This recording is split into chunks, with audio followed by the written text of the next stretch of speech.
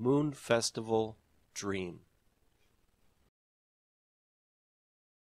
Students can understand the main idea of stories in English. Stories are a wonderful way to enjoy language learning. An important part of listening to or reading stories is understanding what the story is trying to tell or teach the reader. This is called the main idea of a story. The main idea is the most important or central thought of a story. Let's try to think of the main idea for a very common folk tale, The Tortoise and the Hare. Listen and pick the best answer. What is the main idea of this folk tale? A. Arrogance will not help you win. B. It is better to be humble. C.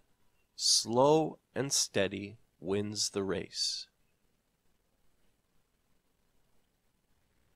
The answer is C.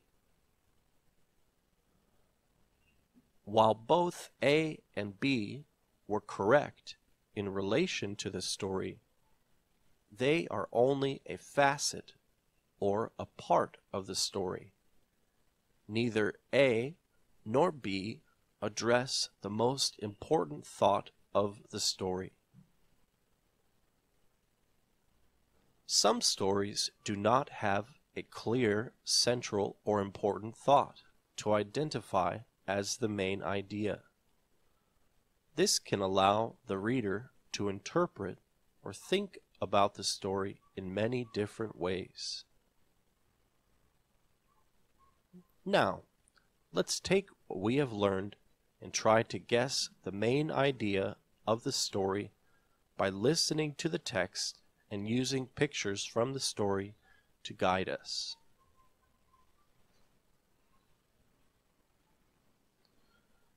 I had a crazy dream last night. What did you dream?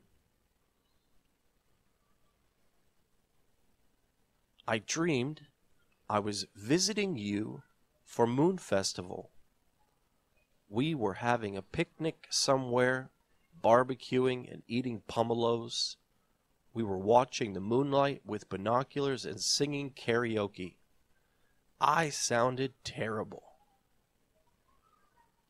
Then what happened? I thought you said this was a crazy dream. Why would you say that? It doesn't sound very special so far. It was crazy because of what happened next. I took a walk through the garden and I saw something on the floor. It was a special necklace. I picked it up and looked for whom it belonged to. Then I saw her, the most wonderful woman in the world. She looked like a goddess. She was really that beautiful? You bet. I knew right away that I had fallen in love with her. It was true love. I needed to win her heart so we could get together and be together forever. So, what did you do?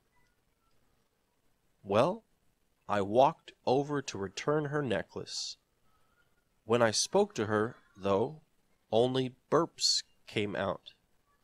The smell was so bad that she died. Then I woke up from my dream. Okay, that was a crazy dream. That poor girl.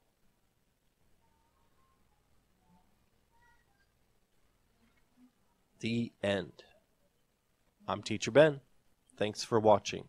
See you next time.